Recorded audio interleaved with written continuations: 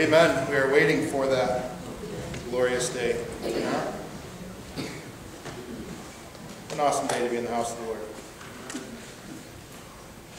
Pray with me as we prepare to receive God's word this morning? Father, I just want to give you the praise and glory and the honor for what has already transpired this morning. Thank you for this uh, assembled body of believers, this family who has come together uh, for a family meal, for an opportunity to exalt your Son to your glory. And I pray that you would find this service pleasing. I pray now, Father, that you would uh, help us by opening our eyes and our ears to see uh, what your word has for us this morning. Uh, help us not just to be hearers, but doers, uh, receiving and applying and bearing fruit from your word, uh, so that we might live out the calling that you have given us, so that we might be uh, a people that glorifies you. And we pray this in Jesus' name. Amen. Amen. Amen. Aren't you glad summer's here? I mean, most people love summer. oh, summer's shaking their head no. Wow. You should, you should probably just leave. I mean, really, especially here in the Northeast, right? We get used to these, these winters that are just brutal, these long, snowy, cold winters. And they seem like they'll never end. And then finally we get some sunshine and warm weather. You know, this time of year the kids are out of school and it's a favorite time of year for people to plan a trip somewhere, to get out and enjoy the world around us. Now, thankfully, we finally reached a point where we're back to doing those things again. You know, you see these commercials, hotels are back, and they make it like it's this amazing thing to stay at a hotel, right? But you get like this state or that state plugging their tourism or their vacation deals. And people just love it. They love summer, and, and for the most part, people love to travel during this time of year. I'd say that we appreciate it a lot more now, uh, considering what happened last year. Just think about it. Last year at this time, if you wanted to take a vacation, one of your suitcases was for masks, right? So, you know, a suitcase of masks, multiple negative COVID tests, and you probably had to prepare yourself that some of the attractions you wanted to visit or see just weren't going to happen, right? Uh, you want to go see a movie? No, not going to happen. Want to go on a cruise? Sorry, can't. You know, go to Disney World? Gates are closed. The, the global effects of COVID certainly changed people's travel plans amongst so many other things, but, but people were used to those trips. I mean, it's summer, we got to go on vacation. And so they started getting antsy at times. Well, what was the response? What did you start to see? What was the trend? For many, it was the rise of the, the virtual vacation. And you say, well, people are already having virtual meetings, they're having virtual parties, learning in virtual classrooms. Why not take a virtual vacation, right? So companies started offering all sorts of these tour options. You, you've always wanted to see the Louvre in France? Well, there you go. Do it from your couch.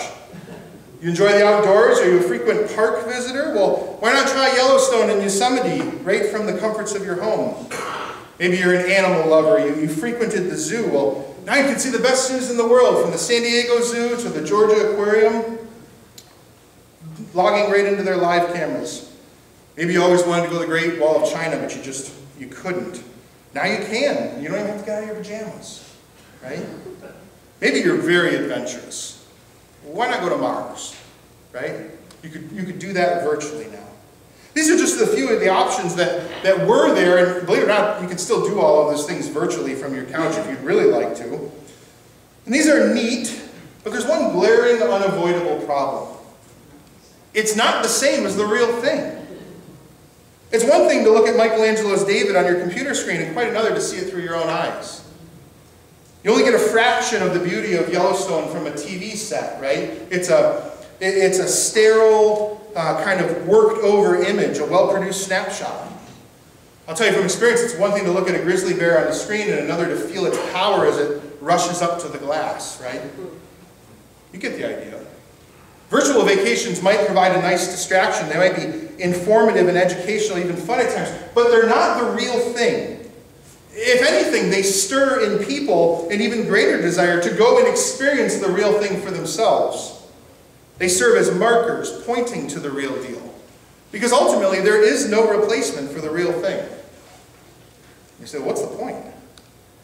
In a far more meaningful and eternally significant way, this is the story of the letter to the Hebrews.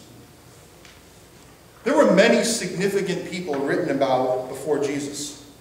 There were many important rituals and ceremonies before Jesus. There were many treasured practices and traditions before Jesus. In fact, there was an entire God given religion, namely Judaism, before Jesus. But hear me now, none of the people, practices, ceremonies, or even the entirety of Judaism was meant to take preeminence over Jesus. Instead, it all pointed to Jesus Christ, to the real deal, if you will. Everything else were just shadows and copies, pointing to the substance. Now that he has come, died, and rose again, now that he is seated at the right hand of the Father, why would you go after the signs and symbols when you can have the real thing? Why take the virtual tour when God is offering you the true experience through his Son? That is what is on the mind of the writer of Hebrews. And that should be on our minds as well. As we begin this study of the book of Hebrews, we, we have to ask the question right off the bat Does Jesus Christ have preeminence in your life? And, and I don't mean just intellectually, I mean in practice, does Jesus reign supreme in your life? Have you surrendered and submitted to his reign and rule in your life?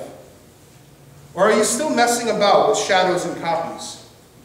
Perhaps even profane and cheap substitutes.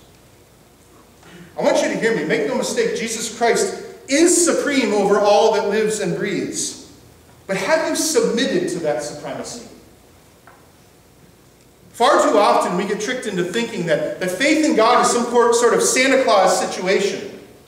Like, he's only real if I believe in him. And if I don't, then it doesn't apply to me. Rest assured, your belief or unbelief has absolutely zero effect on the reality of who Jesus Christ was, is, and always will be. Amen. It does, however, have everything to do with where and how you will spend eternity. So I want us to pay very close attention over the coming weeks and months and beyond as we work through this precious book. Today's just an introduction. And my goal is to instruct you in some of the background of the book, but more importantly, I wish to whet your appetite to the glorious reality of the supremacy of Jesus Christ. I know some of you here who have been with us are saying, whoa, wait a minute. I thought we were doing a whole summer on Joseph and the providence of God in his life. That was the plan. Plans change.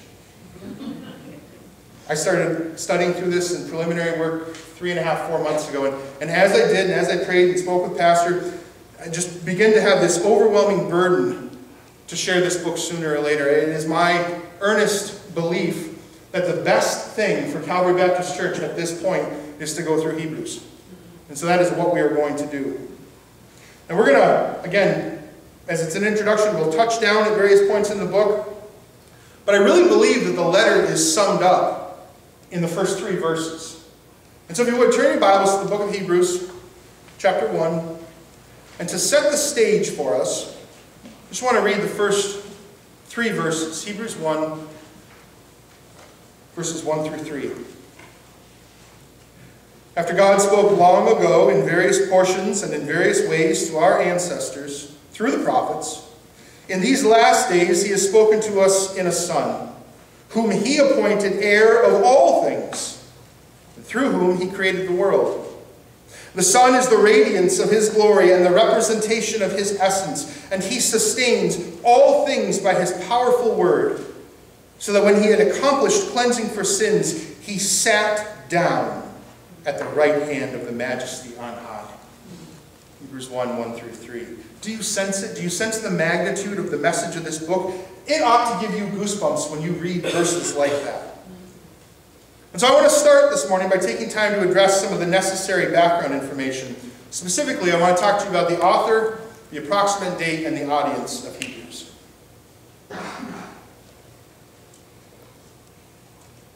Now, if this were just about any other New Testament book, this would be about a three-minute section. I would just share with you some generally agreed upon details that help us better have a, an understanding of the context of the book. But Hebrews, however, is notoriously difficult when it comes to, to some of these details, to pinpointing them. Each of these are hotly contested and quite challenging to come to concrete answers. But I want to see what we can do to arrive at some, some helpful conclusions. Perhaps the most hotly debated detail when we think about Hebrews is who wrote it? Who wrote it? Right? I'll say from the onset that all sorts of theories have been proposed throughout church history, but none have reached a majority consensus for very long. We'll look at just a few of the popular opinions, but I want to say right now that I'm going to tell you definitively who the author of Hebrews is. Okay? Stay tuned for that. So when it comes to the question of who wrote Hebrews, there's some popular theories. The first is the Apostle Paul. Paul was a very popular choice in the Eastern Church uh, almost right away. And then about the mid-4th century, became popular in the Western Church as well, all the way up to the Reformation. But as time passed and people really continued to dig into Paul's other letters and his style of writing, as knowledge of the Greek language uh, grew over time, support for Paul began to wane significantly. Because it's widely known that the, the style of Greek that the writer of Hebrews uses, as well as the vocabulary and rhetoric, it varies widely from Paul's other writings. Additionally, if you've read a letter from Paul, you know within the first couple verses it's from Paul. And you know at the end, it's from Paul. And this letter lacks that traditional Pauline greeting. As a matter of fact, it just launches right into uh, the substance of the argument as we just saw. I think all those are good reasons to exclude Paul, but the most convincing argument actually comes from within the letter itself. Look at chapter 2, verses 3 and 4. How will we escape if we neglect such a great salvation? It was first communicated through the Lord and was confirmed to us by those who heard him. Well, God confirmed their witness with signs and wonders and various miracles and gifts of the Holy Spirit distributed according to his will. Well, how does that disprove Paul as the author of Hebrews. Look again at what the text says about the gospel. It was first communicated through the Lord, then confirmed to us by those who heard him. Well, who are those who heard him? First and foremost, the apostles. Paul never once claims to have been instructed in the gospel by an apostle. As a matter of fact, he constantly defends his own apostleship. Paul's very proud of the fact that he had a personal meeting with Jesus Christ on the road to Damascus, and then later talks about the years he spent in Arabia being taught directly by the Holy Spirit. Whoever wrote Hebrews had received the gospel secondhand. They were second generation Christians, so to speak. And so I believe that that definitively excludes Paul as the writer of the book. Now, he might be the most popular choice throughout history, but there have been others put forward. Some say that because of the quality of the Greek, it might have been Luke that wrote it. Some go far as to say that this was a, sermon or a series of homilies that Paul gave, and Luke recorded them in very polished Greek. We will see that this very much reads like a sermon, the book of Hebrews. There's no doubt about that. But as far as this argument goes, it's just a, a neat idea with really no support. Others, perhaps provocatively, have put forth Priscilla along with maybe some help from her husband Aquila as the author of Hebrews. Chapter 11, the writer uses the singular masculine pronoun. Kind of hard for Priscilla to do, right? I think that excludes her. We've had others, Barnabas, Silas, Philip the evangelist, Clement of Rome, he frequently quotes Hebrews, even Mary the mother of Jesus. Again, fun theories, virtually no real support. I think that the one who garners the most support was first brought forward by Martin Luther. That's Apollos. That has some merit. What we do know is that the author of Hebrews, excuse me, the writer of Hebrews was a highly educated man. A man with tremendous understanding of the Old Testament and the ability to rightly interpret it. The writer also had a passion to see lost people come to Christ and a desire for those who had come to stay firmly committed and grow in their relationship with him. Apollos certainly checks all of those boxes, what we know about him from Acts, but it doesn't prove anything about him being the writer. The early church father Origen, I think, put it the best when he said, But who wrote the epistle in truth? Only God knows. I agree with him. Who wrote Hebrews? I don't have a clue. It's true, at this point, only God knows. And you say, wait a minute. Like, four minutes ago you made this very bold claim. I did.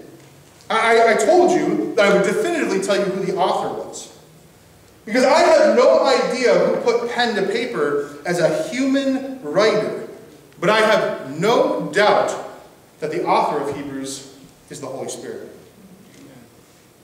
All scripture is inspired. It is God breathed, God authored. You need to understand that as you read scripture. There might be human writers, but it is all authored by God.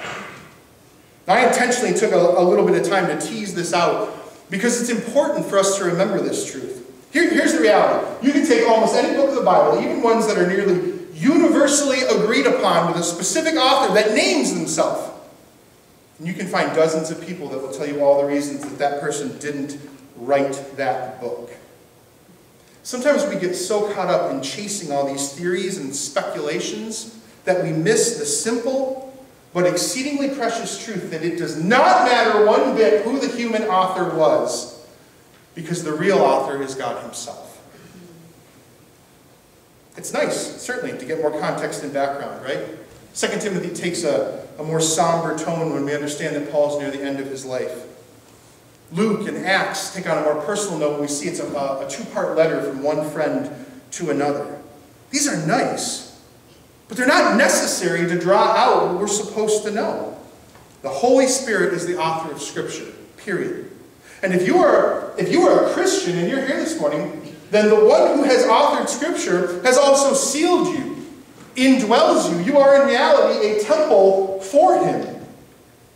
What an encouragement as we read and study and immerse ourselves in the very words of God. And so we have clearly the author. Now let's talk the approximate date and the intended audience. So again, we can't be perfectly certain because most New Testament letters are very hard to date, but I believe that it was somewhere in the mid-60s AD. Let's think about it for a minute. Enough time has to have passed from the ascension that we have the apostles taking the, the, the gospel of Jesus Christ out, and you now have an established church, right? And you have this second generation, so to speak, Christian writing to this established church of mainly converted Jews. They've been enough time to be an established church and also enough time to have faced tremendous persecution including imprisonments. So a, a mid-60s date would coincide with the rise of persecution from Rome, specifically from Nero. Nero took rule in AD 54. Fast forward 10 years to AD 64, and what happens? Rome burns. Most people believe that Nero himself set that fire. But when the backlash came, he had to find someone to blame. These kooky Christians, convenient, people to pin it on. And so persecution was ramped up even more. Hebrews frequently refers to their persecution, but one of the clearest statements of it is in chapter 10, verses 32 through 34. Remember the former days when you endured a harsh conflict of suffering after you were enlightened. At times you were publicly exposed to abuse and afflictions. At other times you came to share with others who were treated in that way. For in fact, you shared the sufferings of those in prison and accepted the confiscation of your belongings with joy, because you knew that you certainly had a better and lasting possession. So they've been around long enough to be an established church who have faced sufferings, persecutions, afflictions, even imprisonments. But we also know the letter had to have been written before the temple was destroyed in 70 AD. The writer of Hebrews speaks about the current, or the sacrificial system and the temple in terms that indicate it's still going on in Jerusalem at the time this letter was written. So, after the ascension, long enough for a established church, but before the destruction of the temple in AD 70. I believe, again, that puts us firmly in a date of the mid-60s AD. That's important because these people were just on the cusp of seeing the temple that they held so dear come to destruction. And the writer of Hebrews prepares them for that, why that's okay. And we'll see that as we get into the book later. Finally, let's talk the audience. Who was it written to? Normally we talk about where they were located, right? We don't have an exact location. Again, there's speculation, and most of it comes from the very end of the book. Greetings to all your leaders and the saints. Those from Italy send you greetings those from Italy. Okay, this could cut one of two ways. Either these are, are folks who were originally from Italy, who have been expelled in, in AD 49 when Claudius kicked out all the Jews. Maybe. That's where Priscilla and Aquila came from, right? It could mean that group. Or it could be referring to people who still live in Italy. And you go, which is it? I don't know. Again, it's not ultimately important to the context of Hebrews. Here's what is important. Here's what we know for sure. It is an overwhelmingly, if not exclusively, Jewish audience. You, you have zero references throughout the letter of Gentiles being in their midst. Compare that to almost every other New Testament epistle, and there are these calls to cultural unity, to oneness, to togetherness. How do we blend these two people groups that used to be enemies and now have been reconciled? It's possible that there were some Gentiles, but if they were, they were likely proselytes to the Jewish religion before converting to Christianity. Right? The, the writer assumes that his audience has extensive knowledge of the Old Testament, including the rites and rituals of the Levitical priesthood. Some have said if you want to understand Hebrews, you have to first understand Leviticus. if you don't understand Leviticus, don't worry. By the time we're done Hebrews, you will. Okay? They're, they're very interconnected. And so a Gentile, freshly converted to Christianity, would not have this understanding. So if it is Gentiles, they almost certainly had been converted to Judaism before converting to Christianity. So, we know it's almost an entirely Jewish audience, even as the title suggests, the letter to the Hebrews. But within this Jewish audience, there are three subgroups that are the key to rightly interpreting the book of Hebrews. Hebrews has tormented some people. Passages like chapter 2, chapter 6, chapter 10 that have caused all this confusion about can I lose my salvation? Can I not? What's, what's happening with all this, right? Knowing these groups and who, is, who are being spoken to when, that's the key to interpreting, right? Who's the Holy Spirit speaking to at any given time? And so, what are they? First, we have the genuinely converted Christians. The majority of the book is written to this group. These are those Jews and potential proselytes who have placed their faith and trust in the finished work of Jesus Christ and they've moved on from Judaism, right? they they've drawn near to God through Christ and they've left behind their old religious system. At least they're trying to do that. We'll talk about that a little more later. The second group, however, are those who have intellectually assented to the gospel, but they've not surrendered their lives in truth to the reign and rule of Jesus. They believe that he is who the, the apostles say he is, but they have not personally received him as their Savior and Lord. In fact, even in the midst of intellectual confession, they practically reject him. Their intellectual belief is, yeah, Jesus is the Messiah, but their controlling belief is that they reject him as their Savior. And so you'll see at various points in the book, the Holy Spirit makes a direct appeal to this group. Again, some of these places have been the cause of great confusion. But when we understand who's being addressed, it makes things much clearer. Look again just briefly at chapter 2, verses 1 through 4 with me. Therefore, we must pay closer attention to what we've heard so that we do not drift away. For if the message spoken through angels proved to be so firm that every violation or disobedience received its just penalty, how will we escape if we neglect such a great salvation? It was first communicated through the Lord and is confirmed to us by those who heard him. Well, God confirmed their witnesses with signs and wonders and various miracles and gifts of the Holy Spirit distributed according to his will. Again, we're going to unpack these verses in detail when we come to them, but, but for now, just see the appeal from the Spirit to these people on the fence to commit all the way.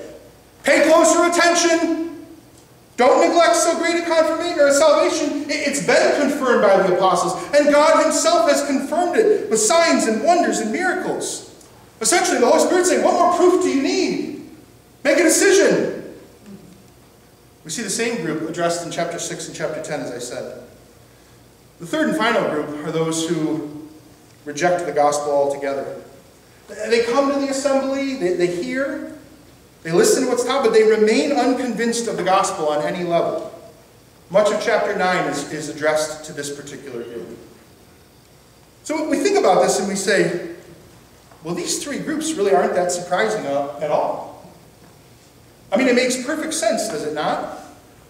Are these not the same three groups of people that we see in every church every Sunday morning around the world?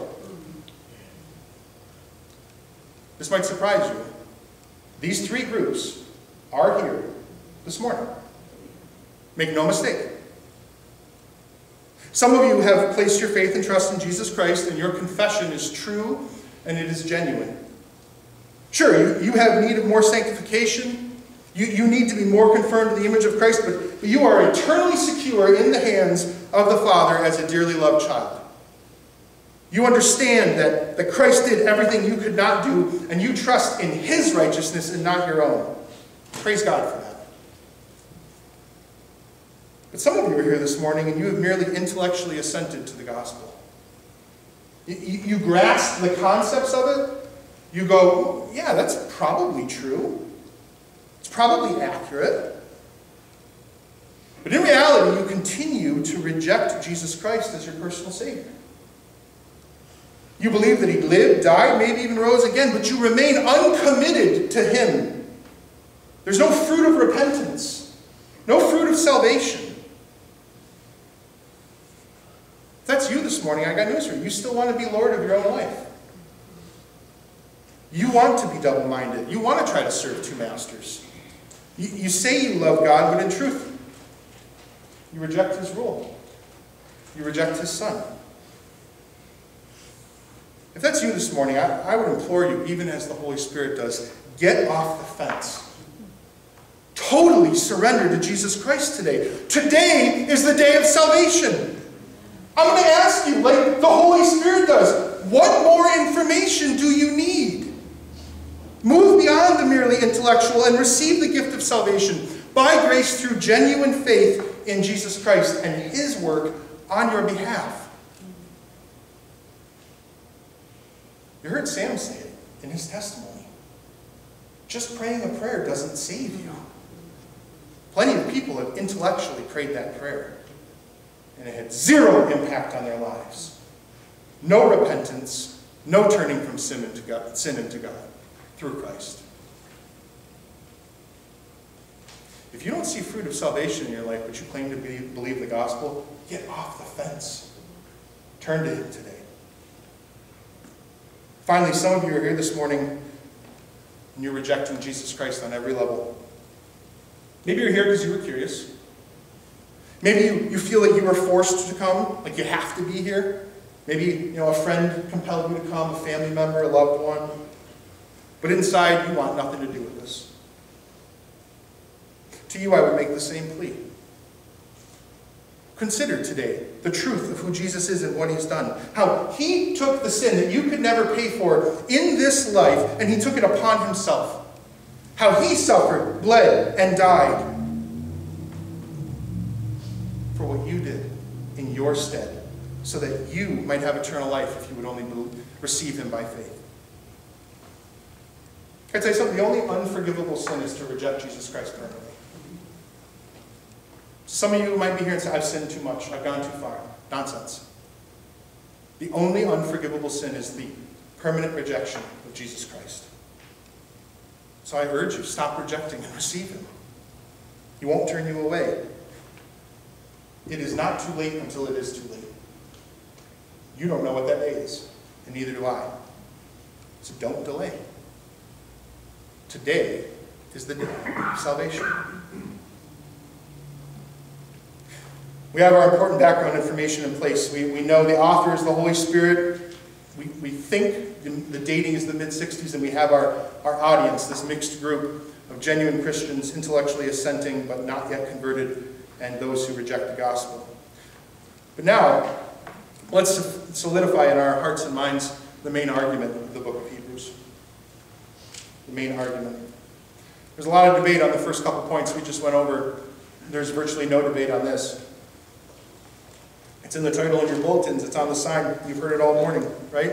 It is the supremacy of Jesus Christ that is overwhelmingly the main argument of the book of Hebrews. Jesus Christ is better than all the shadows and copies that preceded him. He alone is superior. He alone is preeminent. I said earlier that Hebrews reads very much like a sermon, and many people do believe that in fact it is. It, it could be one cohesive sermon that was recorded and then distributed to this this church of Jewish believers. And I think it fits as you read here. I encourage you this week, take time to read all 13 chapters. It takes about 55 minutes to do so, which is great support that the early church preached hour-long sermons. Thanks. Thanks, Marty. Just seeing if you're still awake or not. The theme is unavoidable. supremacy of Jesus Christ who runs all throughout. And again, we're not going to take time to pick these apart, but, but I want to give you this morning just 11 ways that Hebrews points to the supremacy of Jesus Christ. And I'm going to run through them fairly quickly. I want you to see how the Holy Spirit presents Jesus as being superior to everything and everyone who came before him. So first, we see right away in the first three verses we read this morning, Jesus is the superior revelation of God. Right? At one time, God used prophets, dreams, visions, etc. But, but he has most clearly spoken to us through his Son. Jesus Christ is the perfect revelation of God. Why? Because he is God in the flesh. Holy Spirit wants us to see that Jesus is superior to the angels. Angels are amazing beings, incredible. They're created beings. They're created to, to serve in God's presence and to minister to the elect, it says. As the eternal, victorious Son of God, Jesus is far superior to any angel. He's superior to Moses. Now, Hebrews tells us that Moses was faithful in his ministry as a servant.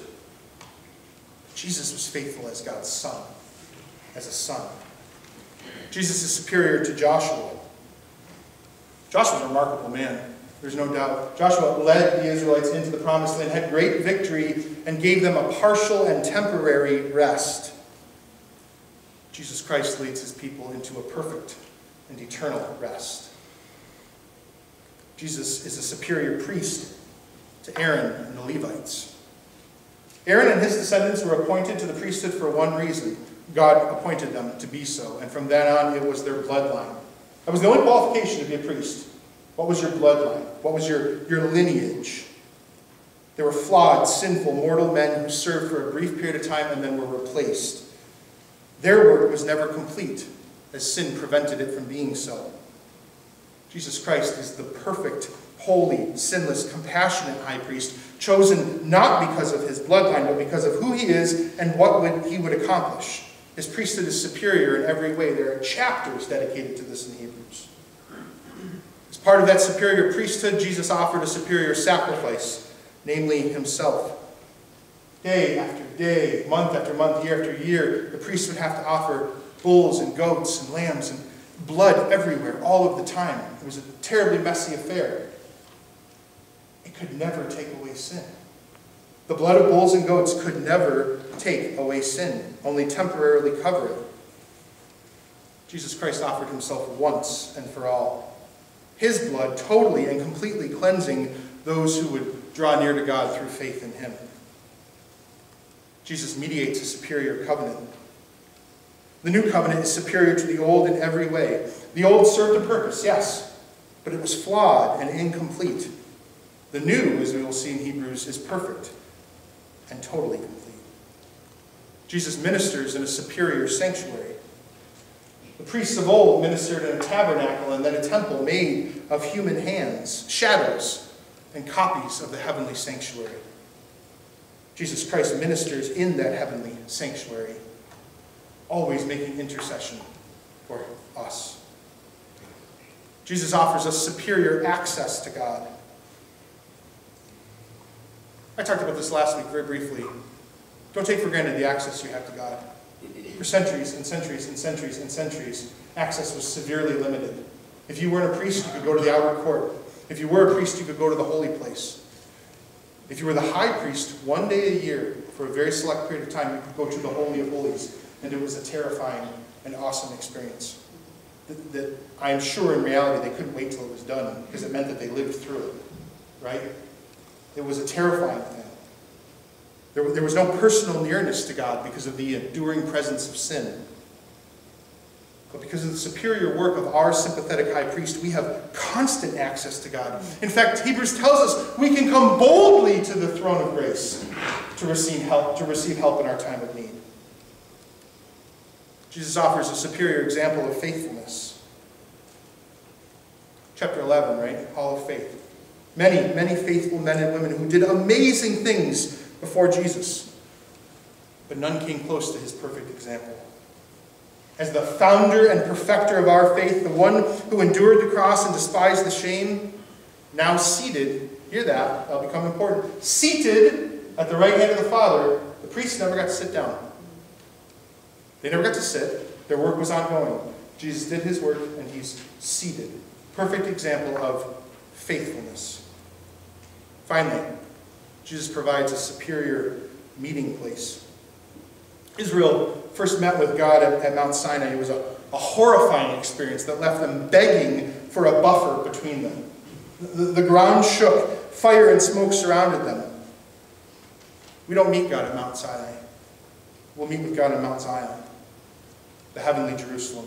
One day we will dwell with the Lord in the new Jerusalem. We will be his people and he will be our God. We will see his face and his name will be on our foreheads. This was just the, the, briefest of summaries of what this book has to offer as it heralds the supremacy of Jesus Christ. My friends, nothing compares to the real deal of Jesus Christ. Nothing compares to him and his completed work. Because of this reality, the Holy Spirit wants to warn and encourage his audience. And so I want to end today by briefly, briefly looking at the additional exhortations of Hebrews.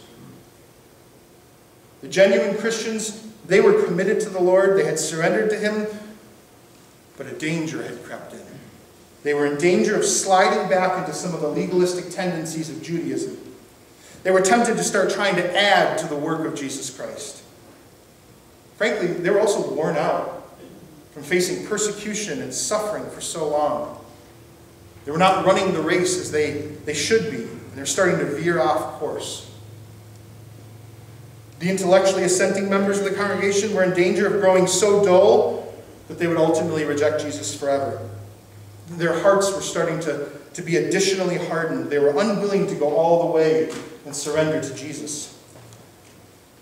And of course, those who had rejected Jesus and his glorious gospel had to repent before it was too late. They needed to see Jesus for who he was and what he had done and turn from their sin and to God through faith.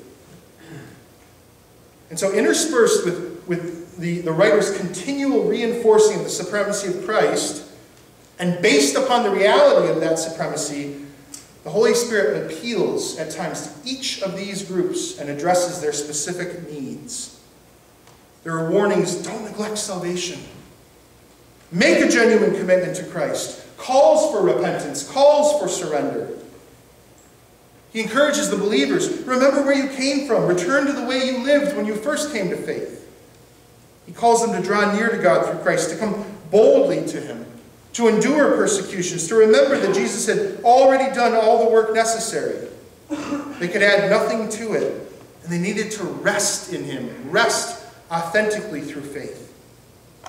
And they needed to encourage one another to continue on and look forward to their better and abiding inheritance. As we walk through Hebrews, we will find warnings, encouragements, and exhortations that the Holy Spirit gave are just as necessary for us today. Consider with me just, just a couple of these. Hebrews 3. See to it, brothers and sisters, that none of you has an evil, unbelieving heart that forsakes the living God. But exhort one another each day, as long as it is called today, that none of you may be hardened by sin's deception. Are we not all in danger of being hardened by sin at one time or another? Should, should we not actively encourage each other to remain faithful to the living God? To repent often? Is that not necessary to be a healthy body of believers? Or consider perhaps a more well-known one in Hebrews 10, 23 to 25. Let us hold unwaveringly to the hope that we confess. For the one who made the promise is trustworthy. Let us take thought of how to spur one another on to love and good works, not abandoning our own meetings, as some are in the habit of doing, but encouraging each other, and even more because you see the day drawing near. Don't you need encouragement to keep on keeping on sometimes? Shouldn't we be encouraging each other to love and to good works, to, to faithfully and regularly gathering together for mutual edification? Don't we need that? Hebrews is full of these wonderful exhortations that are both challenging and encouraging, and we will encounter them through the weeks and months. But hear me, they, they all flow from the basic but vital truth that Jesus Christ is superior to all that is, was, and ever will be. What a wonderful truth. I asked you at the very beginning, does Jesus Christ have preeminence in your life? I want you to remember, your belief or unbelief has no bearing on the ultimate reality that He is the supreme authority. Nothing will change that.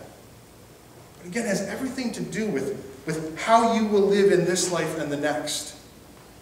He alone is the way, the truth, and the life. No one draws near to the Father but through Him and by Him. He did all the work.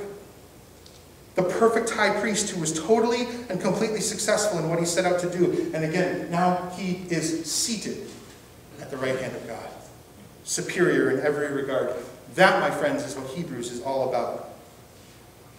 So I'm looking forward to taking this journey with you as we see that around every corner, so that it flows through every fiber of your being, so that you are firmly and utterly convinced that it does not get better than the real deal of Jesus Christ. So based on God's word, what are your next steps? Submit to Christ's supremacy. Again, if you're here and, and, you're not a believer in Jesus Christ, maybe you've intellectually assented, maybe you go, I, I, get the gospel, but there's been no fruit, surrender to Him. Get off the fence and submit. Can I tell you that this applies just as much to the believer? I, I, I wonder, Christian, what idol are you holding on to and placing above Jesus Christ this morning? What pet sin has such a grip on you that you can't honestly say, Jesus Christ is preeminent in my life? Because I keep going back to this other thing. Repent of it. Remove it. Jesus didn't say coddle your pet sins. He said cut it off. Rip it out. Get rid of it. Declare Christ's supremacy. The Holy Spirit makes no bones about declaring the truth of the supremacy of Christ, and we should not either. We need to fearlessly declare it, no matter what reaction that declaration is met with. I want you to consider, just for a moment, what you saw at the beginning of the service. Is that not what these young people were saying through their act of baptism? Jesus Christ is preeminent in my life, and I want everyone to know. Praise God for that, but it doesn't stop at the baptismal tank, and it doesn't stop on Sunday. It's every other day of the week as you're out and about. Does your life declare the supremacy of Jesus Christ in it? Finally, hold fast to that supremacy. This vapor of a life sometimes doesn't feel much like a vapor, right? Sometimes it feels so long and so difficult that we might be tempted to, to drift away, to, to turn to things that promise satisfaction, that promise pleasure, but only offer harm. We must continually be reminded that Jesus is the real deal, and nothing is better than him. Friends, don't go back to virtual vacations when you can have the authentic experience. Hold fast to Jesus Christ. Let's pray. Our Father and our God, we thank you for this wonderful book that we call the Bible, and within it, these letters and these uh, historical accounts and poetic accounts and prophetic accounts, and Lord, just the, the perfection of your word. I thank you for this book of Hebrews and while there are so many things we would love to know more about. Uh, you have sovereignly chosen that we don't. And so we trust that what we do know is what we need to know to gain the most from it. And we certainly can see from this book, Father, that your Son is superior to all that is, was, and will be. That Jesus Christ has the preeminence. And I pray that that would be true for each individual here this morning. Whether we've known you for, for one day or 70 years, that we would not be drifting, that we would not be catering to idols in our life, but we would be repenting and turning to you in faith. I, I do pray, Father, earnestly for that one that maybe has been deceived into thinking that they know you. Because intellectually they know about you, but they don't really know you. That you would break through that hard-heartedness this morning and, and you would bring them to salvation. Or that one that continues to just flat out reject you that they would be humbled by who you are and what you have done for them. They would repent and turn in faith from their sin to you through your Son. What a generous, merciful, gracious, awesome God you are. We thank you and praise you in Christ's name. Amen.